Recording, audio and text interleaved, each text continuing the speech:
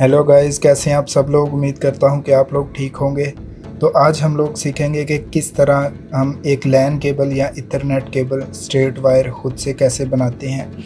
जैसे ये राउटर में अक्सर इस तरह की स्ट्रेट वायर वायर्स मिलती हैं, लेकिन इनका साइज़ थोड़ा छोटा होता है।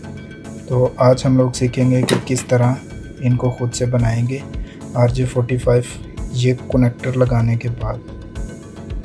तो चलें इसको बनाना सीखते हैं। उसके लिए सबसे पहले आपने इसको स्ट्रिपर के साथ इसको काट लेना है। इस तरह। ये काटने के बाद ये स्लीव जो है, ये भी साथ काट लें।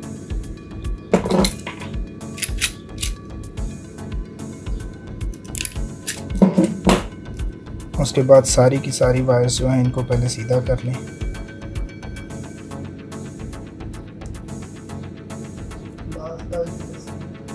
तो ये सारी वायर्स हम इस तरह इसको सीधा कर लेंगे।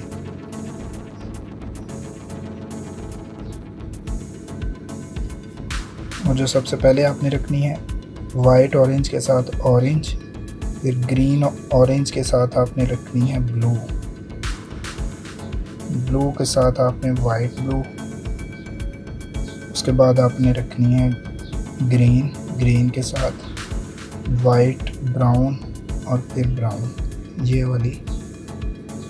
तो ये इसकी कलर कोडिंग है. इस तरह हम इसको प्रेस करके रखेंगे. सीधा करने के बाद, सीधा करने के बाद हम इसको काट लेंगे. इस तरह. तकरीबन इतना हम इसको काटेंगे.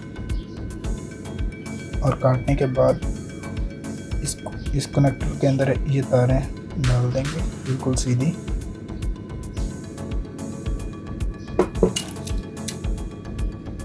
और इस तरह पंचिंग टूल की मदद से हम इसको पंच कर लेंगे दबाने से।